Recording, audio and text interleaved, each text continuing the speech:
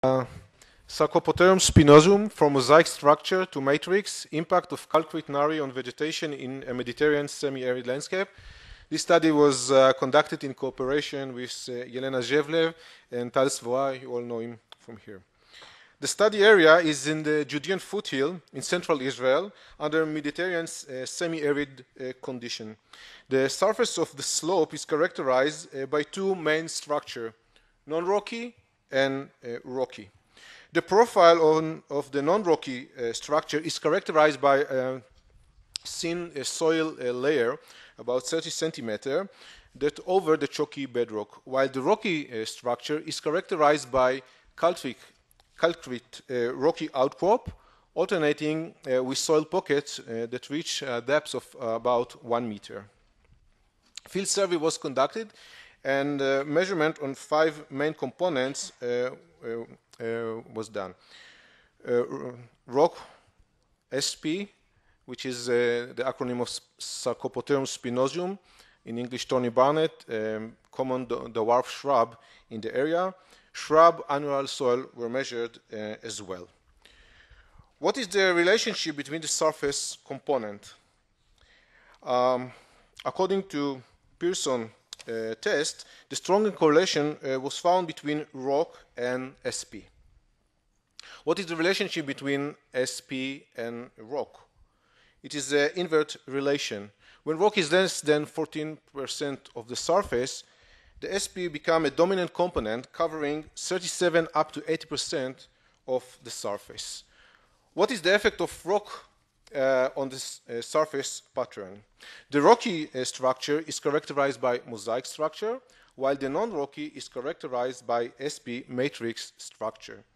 Here you can see the mosaic uh, rocky structure, and here you can see the matrix on the non-rocky surface, which with a dense cover of SP, with coverage of 80% of the surface. Uh, we suggest that the, the, the, different vegetation pattern may be related to different water conditions on the two surfaces. On the non-rocky surface, there are low uh, runoff and low water condition, while uh, in the rocky uh, surface, water conditions are enhanced due to the presence of rock outcrop, which acts as a source for runoff generation. The runoff is absorbed in the soil pocket, uh, which act as sink. And all this allow for a higher vegetation to be established. Conclusion. Non-rocky surface uh, has low water condition, which is uh, sufficient to the establishment of a SP, which is adapted to uh, relatively drier condition in a matrix uh, pattern. The rocky surface uh, has enhanced water condition, uh, which allow the establishment of vegetation uh, that is less adapted to drier condition to be in a mosaic pattern. And final conclusion, rock and SP are interchangeable surface components as both stabilize the surface and enhance the ecological conditions. Thank you. Thank you. Um, Yardena. You're invited to the poster session. Um, my name is Yardena Raviv and I'm a research scientist at the Division of Environmental Sciences in Israel, at the uh, Israel Institution for Biological Research. I'm not a biologist, I'm more of a physical chemistry, um, statistical mechanics. Um, I will uh, present uh, our uh, work in uh, the poster will be about um, I will present the lattice Boltzmann uh, calculation and some particle image velocity, uh, velocimetry measurements that uh, Uri Shavit has uh, presented earlier of a turbulent flow with an above and within a finite and a simplified a finite model canopy. Um, the PIV measurement, as I, as I mentioned, was done by uh, in the group of Uri Shavit, Sharon Molchanov, and uh, Tomer Duman, which is here also, and we'll present another poster, different one. Um, the motivation of the work comes from the need at uh, IIBR for some input information of velocity and velocity field and uh, statistical uh, information about the turbulence in the atmospheric boundary, boundary layer in the lower one for transport and evaporation models. Now, this type of information is a very costly one. Um, it's very difficult to calculate it, and it's uh, and it could be very time consuming. And since we want to keep our models quite simple and use them as risk assessment models, we're looking to simplify our velocity models. And this was basically the aim in this work. So in the poster session, I will present the model equation, the space and time average Navier-Stokes equation that we solve. Um, the model is uh, formulated in a, in a, quite general way. It includes uh, turbulent closures that start from Prandtl type of mix, mixing length uh, models all the way, which can expand into LES models, which are more heavy, and we don't want to get there, at least not now. And um, I will present the canopy drag approach that we use that could be applied for cities and for which depends basically on the underlying morphological information that uh, incorporates the canopy. Um, I will also present a new, in the poster session, I will also show uh, the method we use, which is kind of new to us at least, or also in the community of uh, computational fluid dynamics which is a lattice-Boltzmann uh, type of uh, equation that we solve in order to, to solve the, uh, the flow dynamics, the model that we formulated. Um, I will explain why we use the lattice-Boltzmann equation and not the regular type of in, in numerical solvers, CFD solvers. Uh, I will present the PIV model mainly to validate the results we obtain and also to get some information about the statistics to simplify our modeling. Um, in the result section, I will talk about the validation of the model in general. I mean, to try and understand what can we get from that model once we formulated it, and compare some results to homogeneously fully developed uh, flow and uh, to uh, some preliminary results to the developing region. And um, from our very preliminary studies of the lattice-Boltzmann solution, we have tried to uh, formulate and solve it without any turbulence in it, just to have viscosity. And there we could do a full solution uh, using the lattice-Boltzmann method. And this, this, is just to give you an idea of what type of, um, of simulation we could get to. And this is much easier than solving a turbulent model. But this was just an idea of what type of solution we're looking for. Uh, I'm showing here only a little part of the canopy.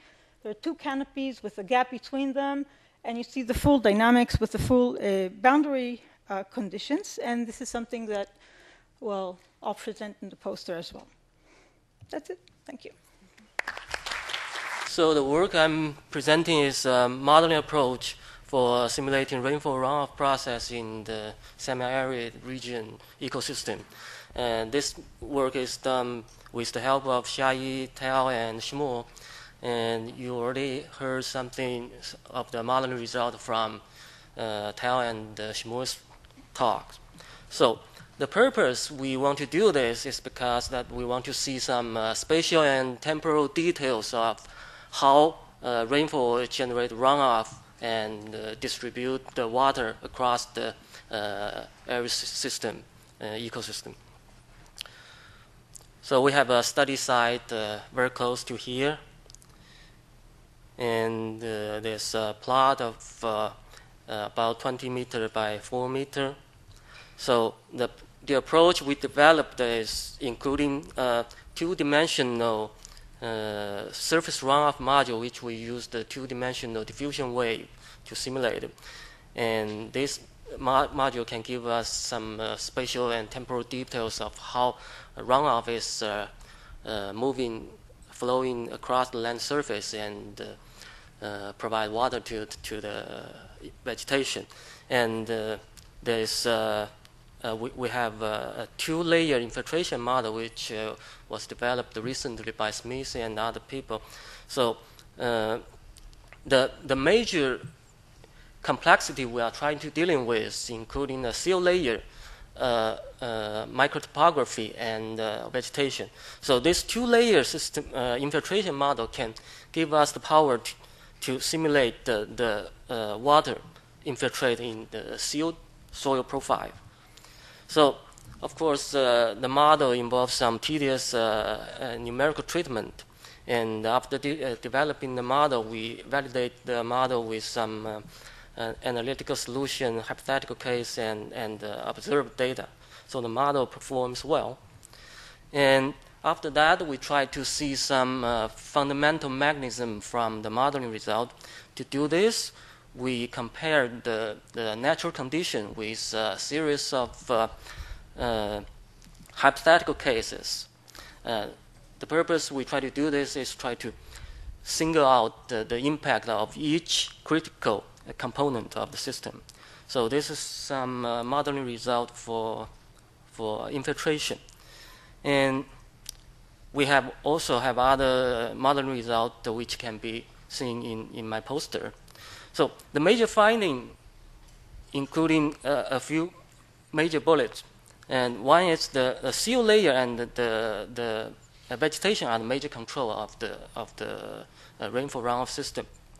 If you miss one of them, you, you won't be able to get uh, the correct result of the runoff.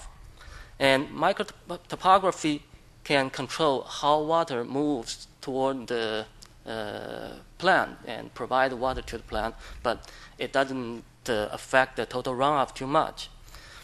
And uh, more excitingly, uh, we found that uh, uh, for individual vegetation patch, the vegetation can receive much more water than the local rainfall can provide, up to 10 times of, of the local rainfall can provide. So that's the Thank you. Um, although I only have four minutes, I would like to thank uh, uh, my uh, PhD students, my former PhD students, Emmy Lammertsma and Hugo de Boer, who did uh, most of the work on stomatal optimization. And of course we do know is that stomata are extremely important in the carbon and the water cycle. And so they take up the CO2 and they lose, lose the water. And we also do know is that um, they have a dynamic adaptation. Eh? Within seconds or maybe minutes, they can adapt to the, uh, to the environment. But what we also do know is that they can structurally adapt to, uh, to changes, for instance, to CO2 uh, changes. And now the question is, can they change that within years to decades? And uh, how far can they change within their so-called phenotypic plasticity?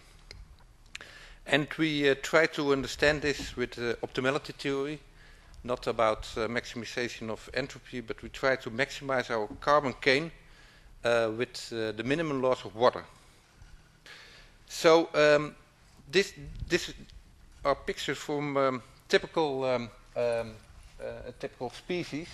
So you see an, a, clear difference in stomatal density, but we wanted to know um, have much more information on that. So we um, collected huge amounts of herbarium material over the past 150 years. And also we uh, went to the field to uh, collect sediments, to collect peat layers with leaf fragments in there. So, and for every layer and every herbarium material, we try to um, uh, calculate the amount and density of the stomata. And from that we can calculate the maximum stomatal conductance. And we did that for eight different species, and surprisingly, they all have a clear decrease of about 40% on average uh, at CO2. So within 100 ppm difference, we see a decrease in stomatal conductance of about 40%. And uh, with our canopy models, we think that in energy limited systems, this will reduce transpiration in for about 30%. And of course, in water-limited system, we see an increase in biomass in that. And um, one of the things is now, um, do we have different strategies with, between the species, and does it have uh, competitive advantage? And for that, we also went to the same, uh, same period as uh, Danny said, to the Cretaceous, because the Cretaceous had this enormous shift in CO2 from 2000 ppm suddenly to 200 ppm. And um, we also see at the same time the so-called angiosperm revolution. So the broadleafs were coming up and the conifers were going down in amount.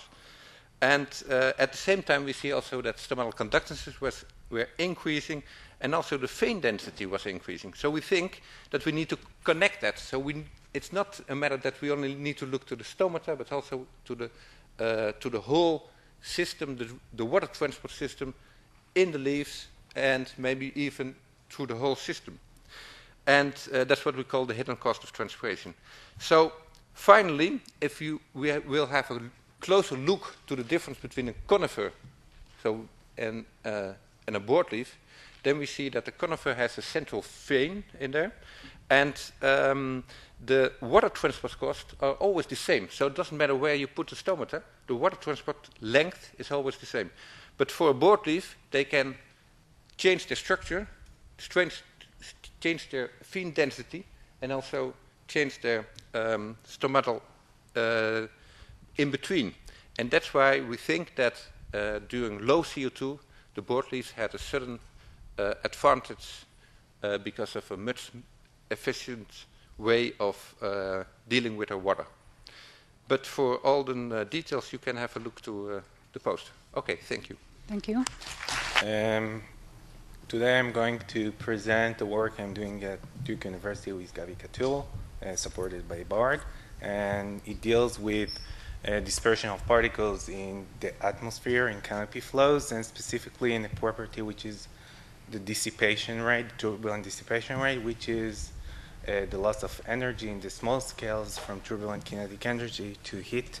And, and when we talk about dispersion in atmosphere and in canopy flows, uh, usually models that do relate to dissipation, which is actually the mechanism that uh, uh, use the, that uh, makes the dispersion itself.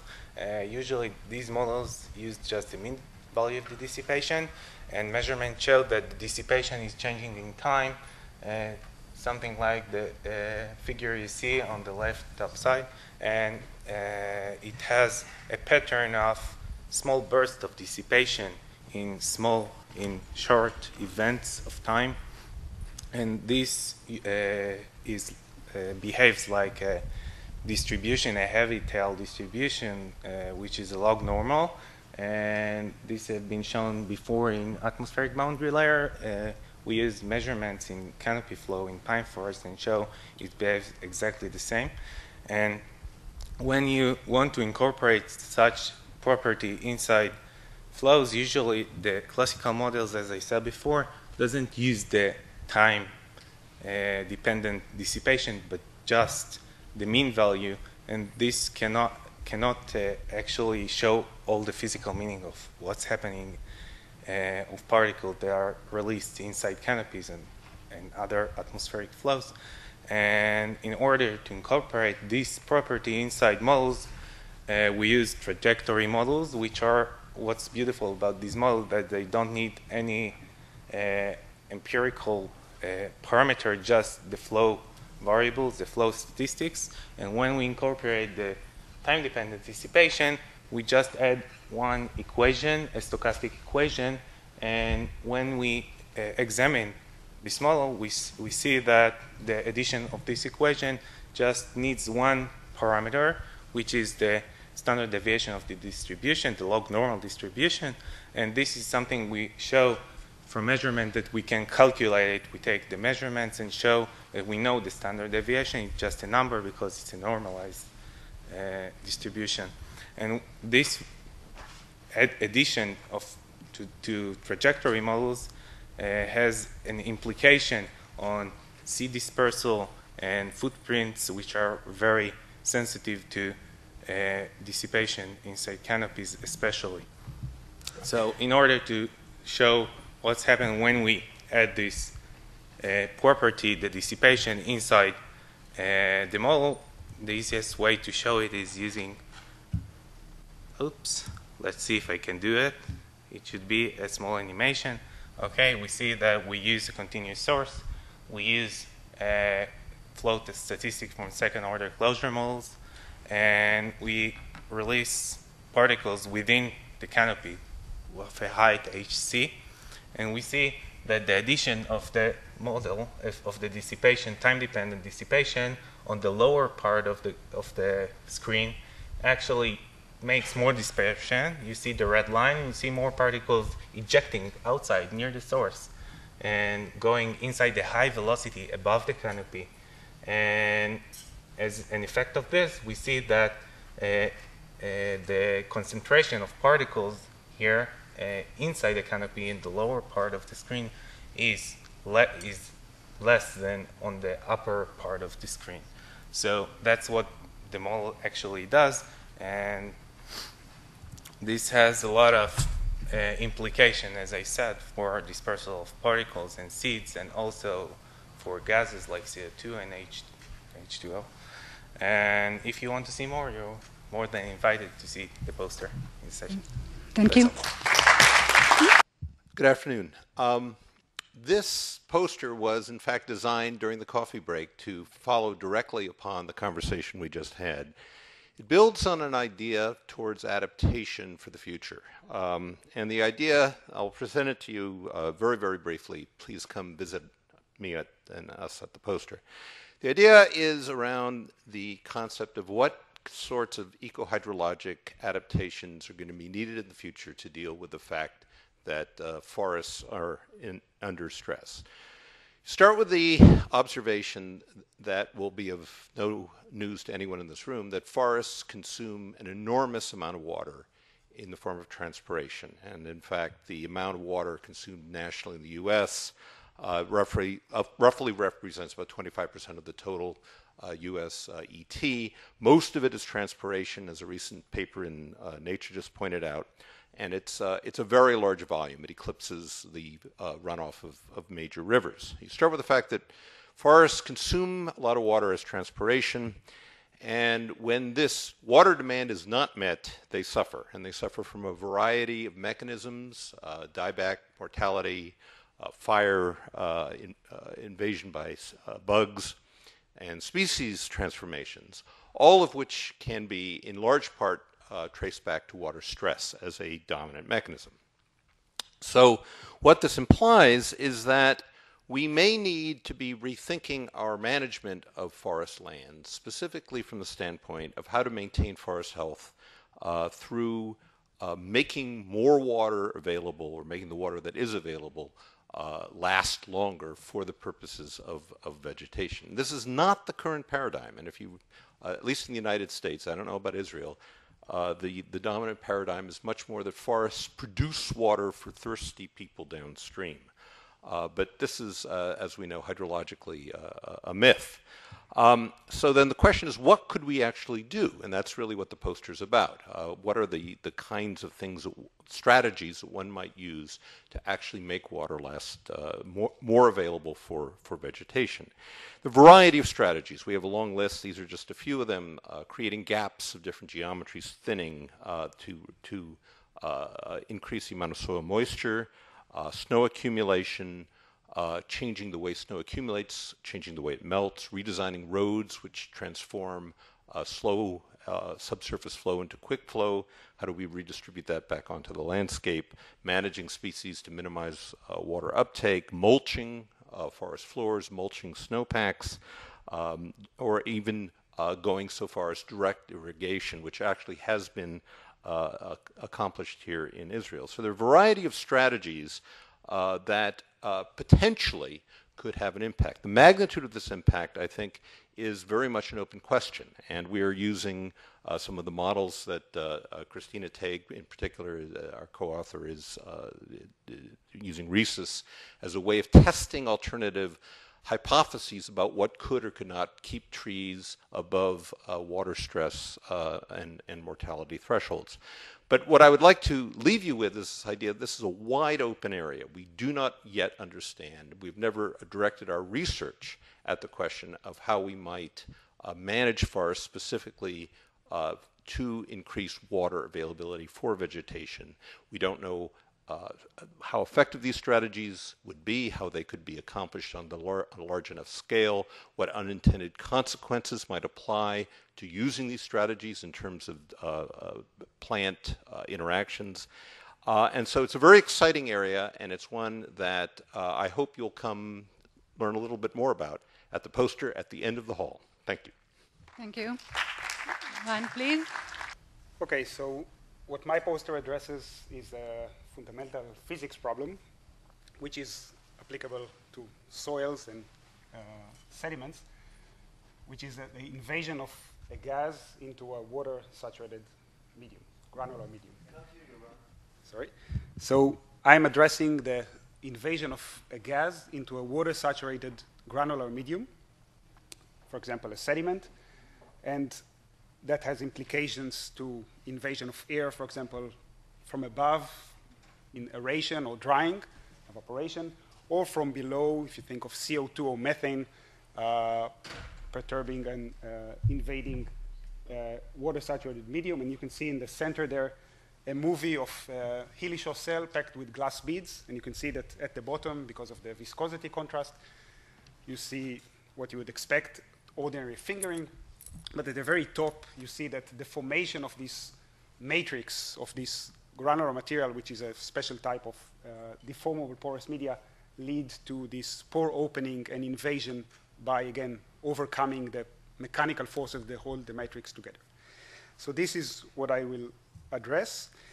And to investigate, again, the fundamental physics of that, we stayed with kind of ideal systems. Experimentally, we used glass beads saturated with water, and then we injected air. And excuse me, but I, I did this uh, in a rush, so I forgot to include uh, my collaborators there, uh, Ruben Juanes and Mike Szulczewski from MIT. So apologize on that. So we came up with uh, an experimental system which everything is controlled or as much as you can besides the packing of the granular media. So you pack a thin layer of glass beads saturated with water, and then you inject air at the center and observe the invasion pattern with the camera, controlling the confinement, how strongly confined is this kind of sediment proxy, and of course the injection rate and the type of the size of the beads. And numerically, we came up with a simple pore-scale numerical model, a completely mechanistic model that accounts for capillarity, capillary invasion, the invasion dynamics, the viscosity of the water, the dissipation of the pressures, which you can see at the bottom right corner, and more, most importantly, for this two-way coupling between the flow and the deformation, the effect of these high pressures that, again, push the particles aside, and I will show you a slide uh, for that in a second, and the, the, the, feedback from this deforming, deforming matrix allowing the invasion to occur. So this is a highly nonlinear dynamics problem.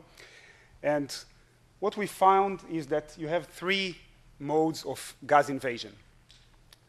The first two are quite familiar, quite uh, known for some time, of course, the viscous fingering and capillary fingering. But the third, capillary fracturing, is again caused by pore opening or by matrix deformation. So I inject here air from the left into water that are on the right. You see the meniscus uh, advancing there as I increase the air pressure. And these are glass beads, about 150 micron glass beads. And eventually, what happens is, in this case, because the particles are so small, the capillary pressures are very high. And because of the high capillary pressures, the high pressure jump across the interface, these particles are pushed apart. The throat or the, these constrictions is enlarged, and invasion occurs by pore opening, by matrix deformation. So this is the mechanism. And to get a quantitative handle on that, we did some scaling analysis. And we came up with two dimensionless groups, two dimensionless numbers that governs completely the, the behavior and allows to predict the mode of invasion. And these are the modified capillary number, this capillary star, which is the ratio between viscous and capillary forces. It includes the classical capillary number, the in injection rate, the interfacial tension, and the viscosity, but also the system size and the heterogeneity, which was not accounted uh, before quantitatively. And that controls the type of fingering.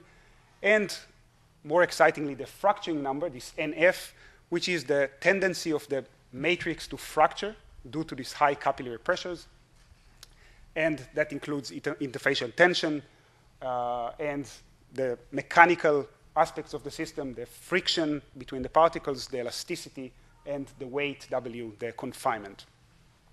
So as you can see on this phase diagram at the bottom, you see that you get this fingering type at the very top when you have the fracturing number much larger than one, which means that the fracturing driving forces dominate and you get these fracture-looking patterns.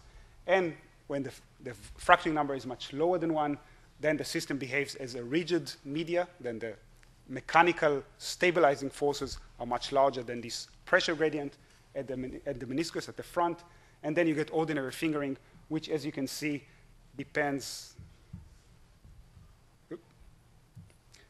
So as you can see at the kind of shaded area there, the transition, again, depends on the modified capillary number. So just two dimensionless numbers which are completely defined by the system properties. There's no adjustable, par adjustable parameters.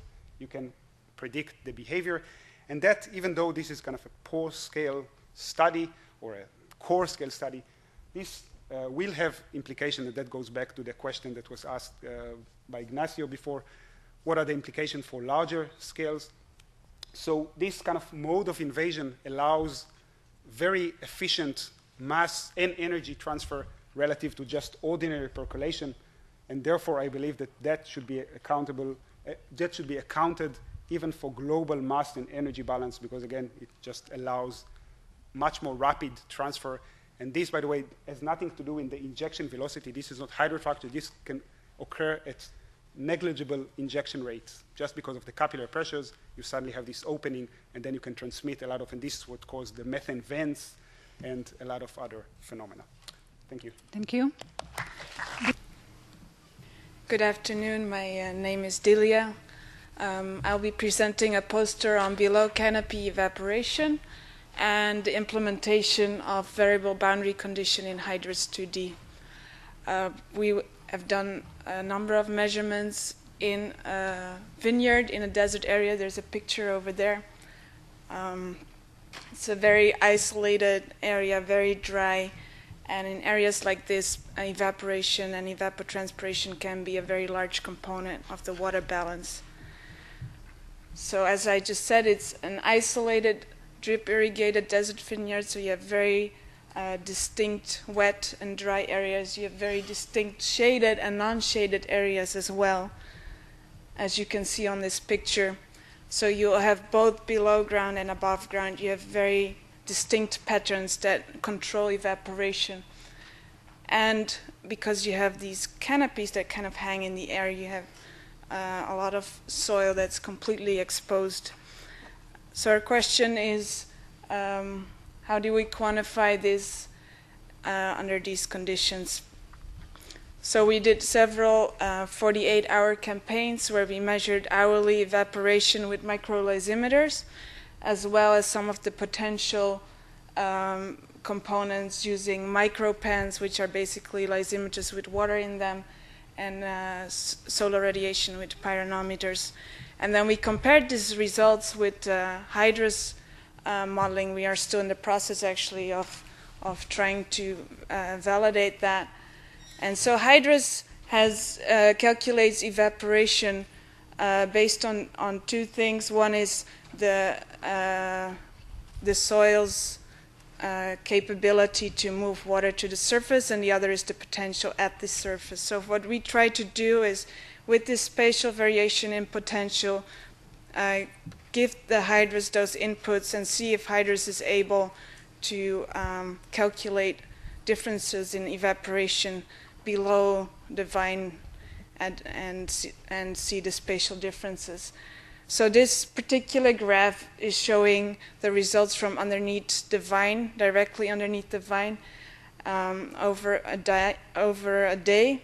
And the green line is the measured with the microlysimeters, and you see a dip in the afternoon showing that with the shading uh, that actually affects evaporation.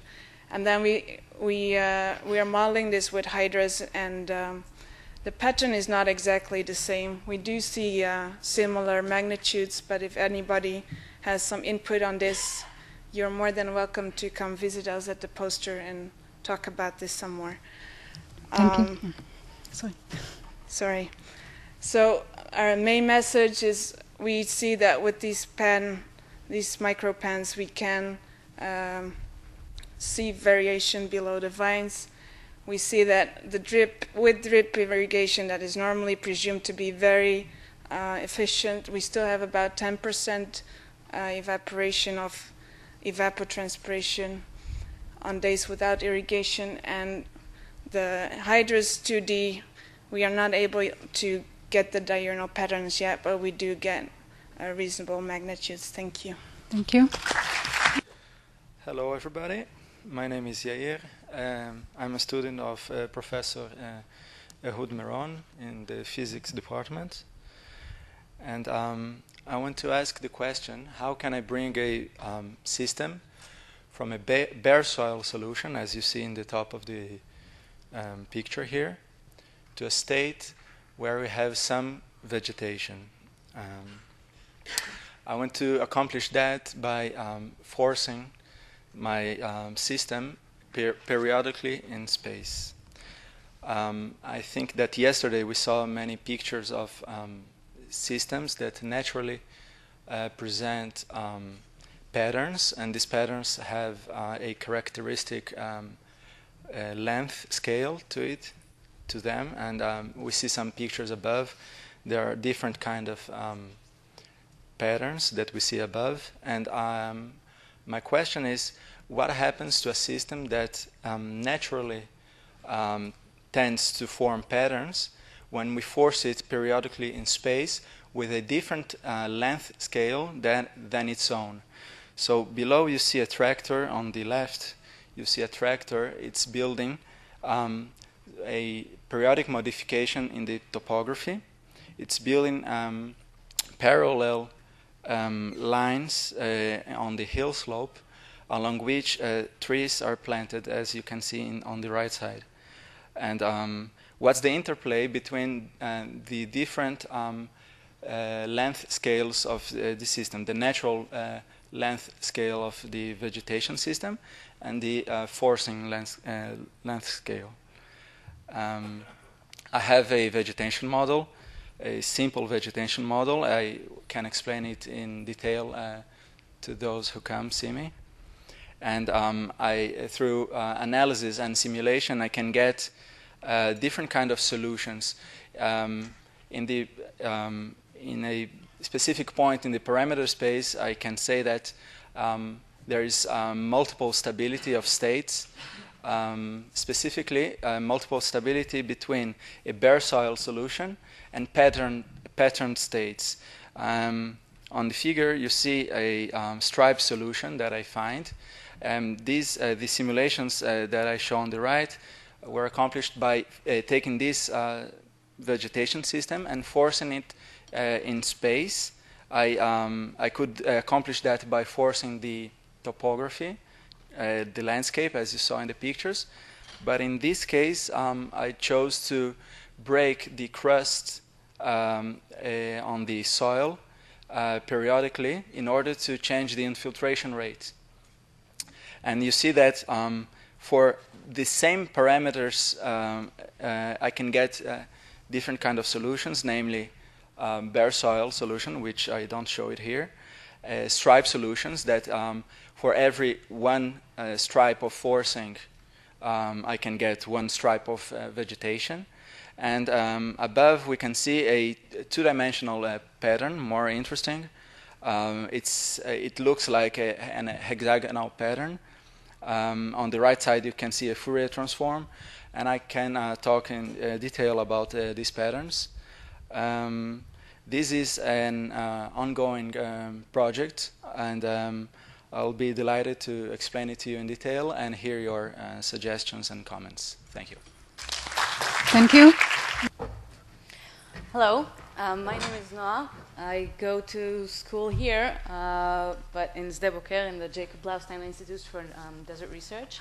And my poster topic is the effect of land cover change on rain, rainfall runoff relationships. And we studied the um, Yarkon Ayalon watershed in central Israel.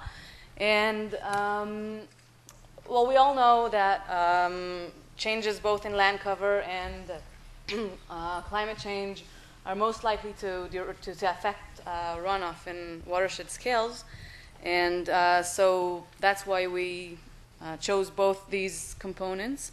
And we wanted to, uh, first of all, uh, understand the land cover changes in a time frame of 20 years uh, in a sub-basin scale within the Yarkon watershed.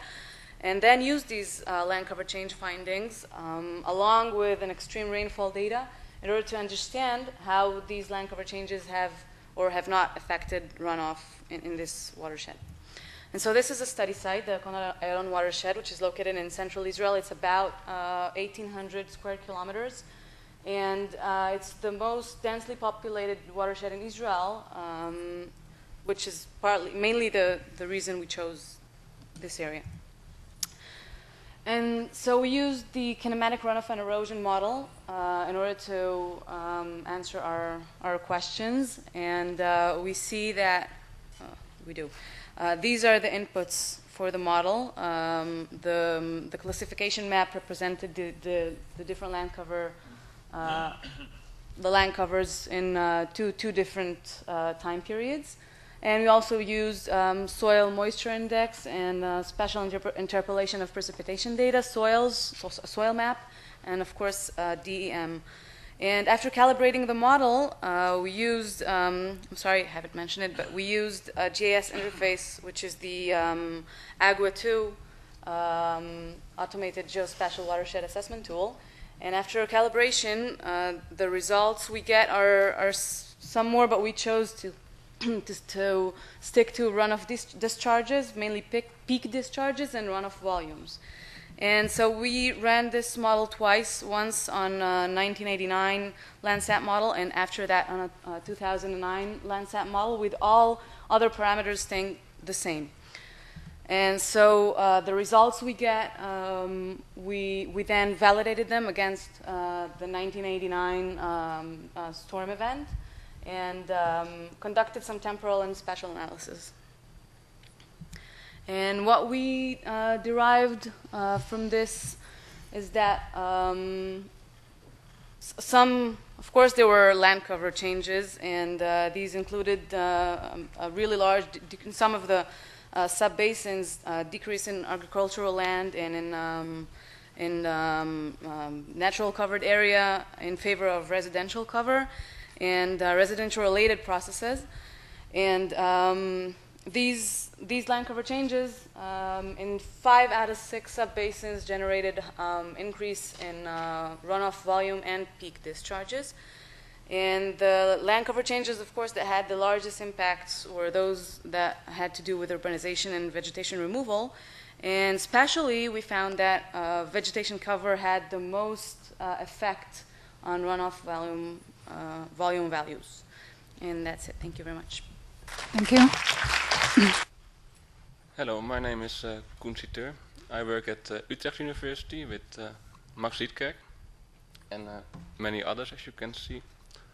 Um, so I'm working on two projects now. One is about uh, booster balloon, uh, for people who know what it is. And the other is about uh, this question, so how will uh, increases in rainfall intensity affect patterned arid ecosystems? So what's the thing in uh, in arid ecosystems that you, there are uh, positive feedback loops uh, hidden in the system, and uh, these po positive feedback loop loops they play a role in regular pattern formation. So here you see an image of banded vegetation in Sudan but you can find it uh, on any edge of any desert. And uh, the other thing with positive feedback loop is positive feedback loops is that uh, they can result in alternative stable states.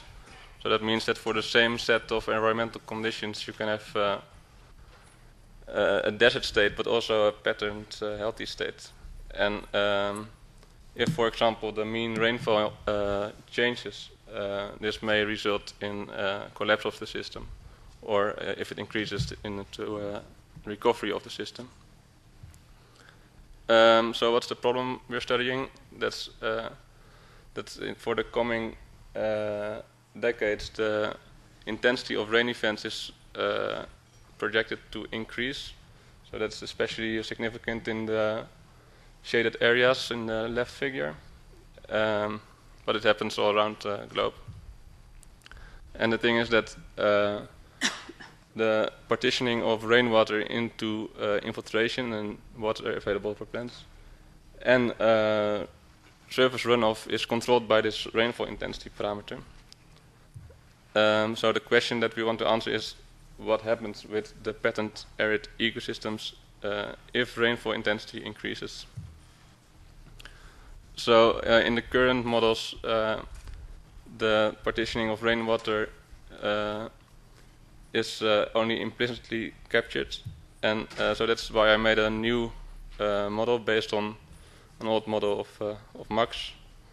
Um, and I put explicit event-based rainwater partitioning in there.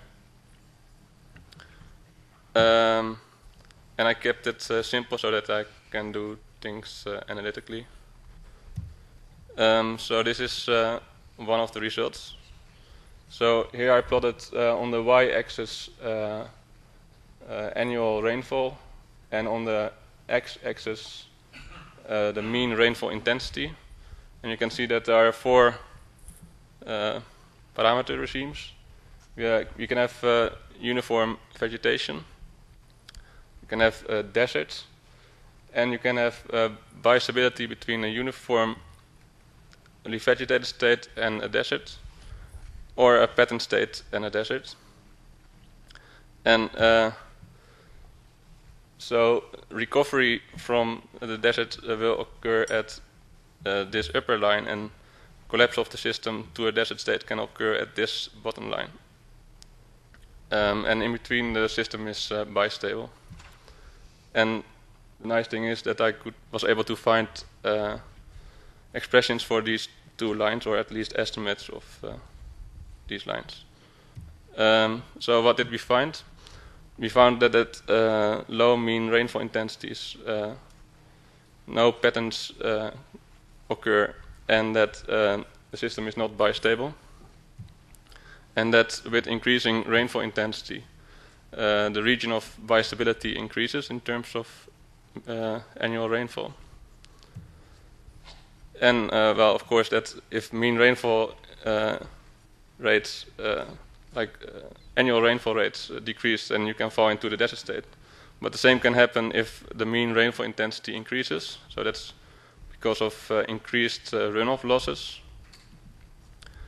Um, but also if the mean rainfall intensity decreases, and that's because more water will infiltrate into the uh, bare areas, and uh, that results in uh, water that's not avail available for plants and that's percolated or evaporated.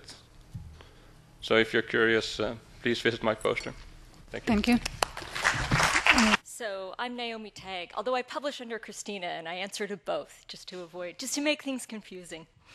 So I am the one of the principal developers of a model called RHESSys, which is a fully coupled um, terrestrial hydrology and carbon cycling model. It's also spatially distributed, and, and we play with different ways of representing the kind of fill and spill routing topologies that Jeff was talking about, and then being able to look at how do our different assumptions about how water moves in the landscape affect vegetation processes and carbon assimilation. So, one of the places we've been applying this model is in the California Sierra, which are semi arid but also snow dominated. And a question we've been interested in is what's just simply the effect of warming? Which causes two things in that region. One, things get warmer, the forests start using turn on earlier, they potentially could use more water. But when things get warmer, the snow melts earlier. So you change the timing of recharge. You could think about a similar thing in a non snow dominated system if the timing of when precipitation fell changed. So we want to look at how do those things play out against each other. And so I'm showing here just some estimates of changes in ET or, or forest water use largely.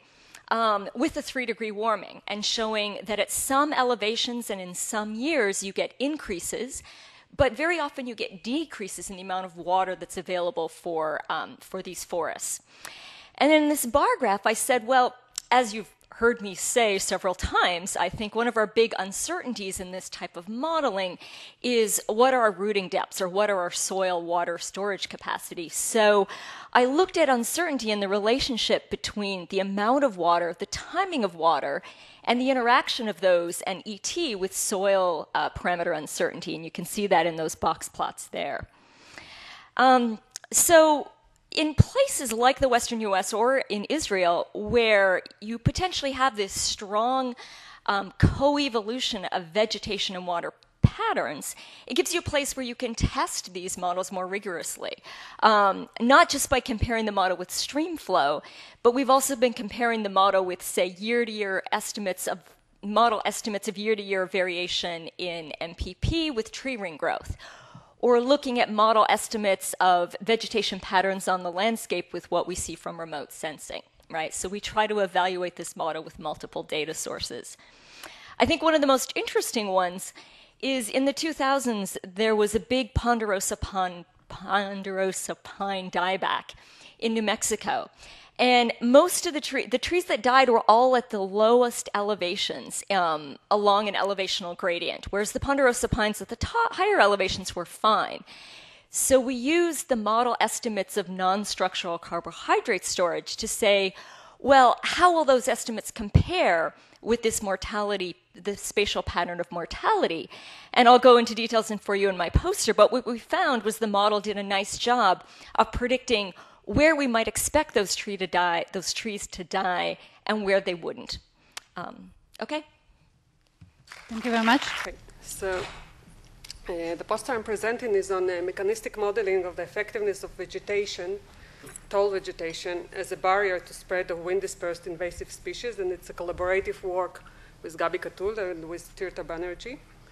So, as uh, Ran Nathan mentioned yesterday, we know that wind dispersed species uh, cause substantial damages, like if it's invasive species or if it's just weeds, agricultural weeds, they can uh, cause substantial damages both to natural and agroecosystems. And we also know that usually preventing spread of such species may be more efficient than trying to eradicate already established populations.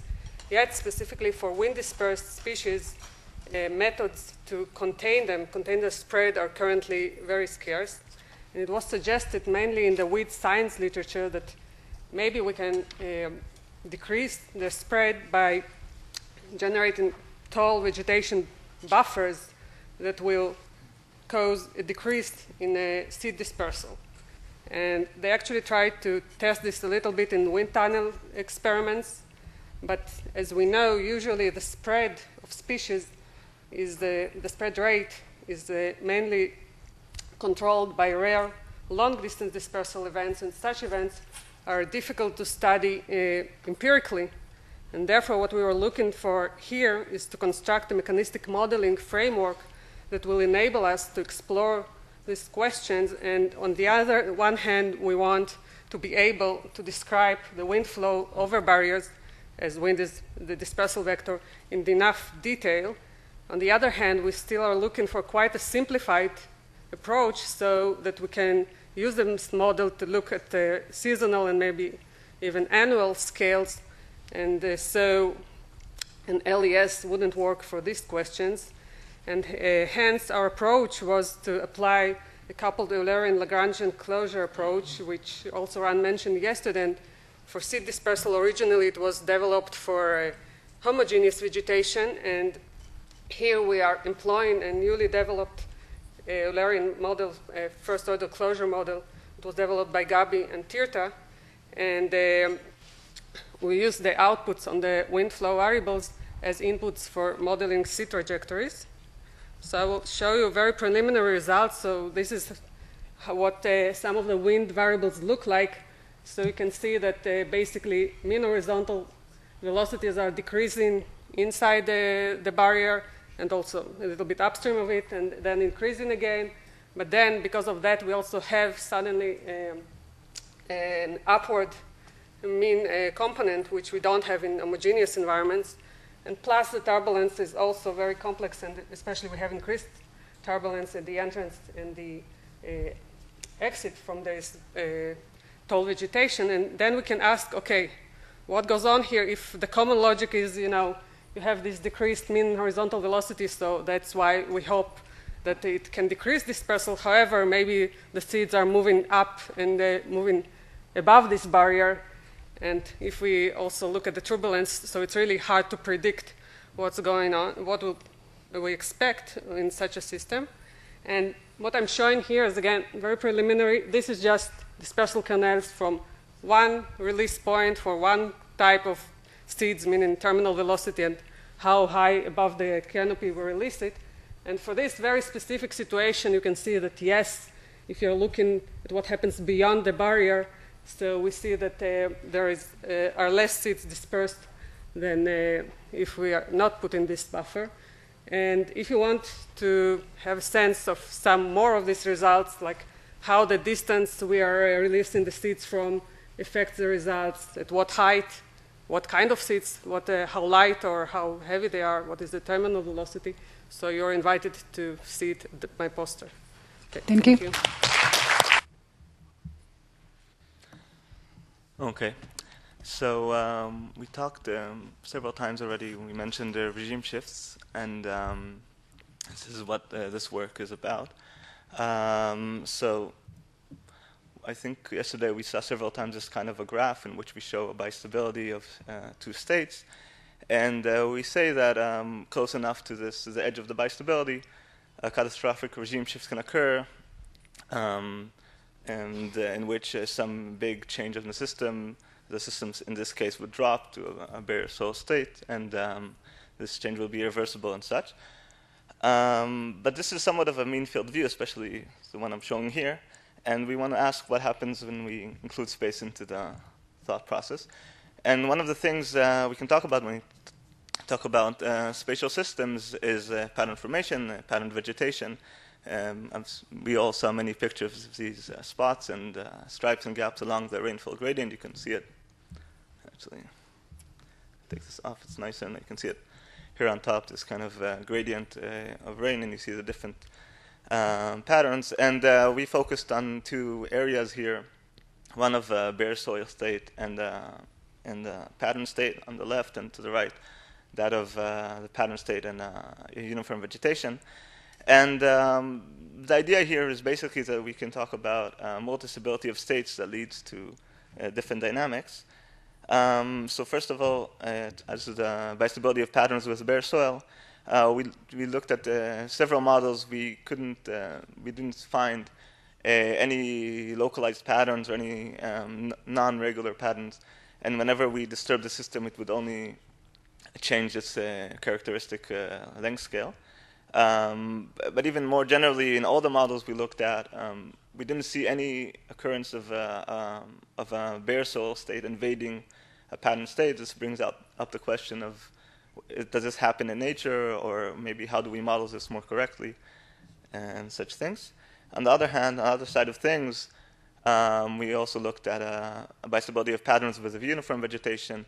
Here we see more complex uh, possible dynamics. We see all kind of things that can occur, and among other things, we can try to explain uh, what recently um, is, recently there's been a paper published about dynamics of uh, uh, fairy circles in Africa, so-called birth and death, and we can try to explain these kind of dynamics and similar things uh, with this uh, understanding of how um, multi-stability of these localized states occur in these systems. And uh, you're all welcome to come talk with me about the poster. Thank you. Roy. Since I'm the last one, I will do it very, very short. The title of my poster is Utilizing a Stochastic Weather Generator to predict the effect of climate condition on Bemisia tabaci population dynamics. So this uh, project combined between climate research and ecology. We will start with uh, some background. Temperatures plays a crucial role in development time of insects. So as we all know, according to the IPCC, temperature is expected to increase by a few Celsius degree till the end of the century. So the aim of the research was to predict Bemisia tabaci population response to current climate condition and their forecast and change in two sites in Israel. To reach our goal, we had few objectives. First of all, we wanted to develop a stochastic weather generator that is based on synoptic data. Usually, weather generators are based on local data. We wanted to connect them to synoptic data. Then to downscale, gener to downscale general circulation model, we used the ECHAM5 uh, model to predict local climate changes, and then to develop a model that predicts the Misa tabaci population response to climate conditions. The results, results just in, in uh, general, so uh, as expected, according to our downscaling method, under the, under the A1B scenario, temperatures are expected to rise in about 2.5 degrees in average till the end of the century in Israel. And we predict that we have major changes in Bemisia Tabaci population size, community structure, and seasonality of outbreaks. Thank you very much.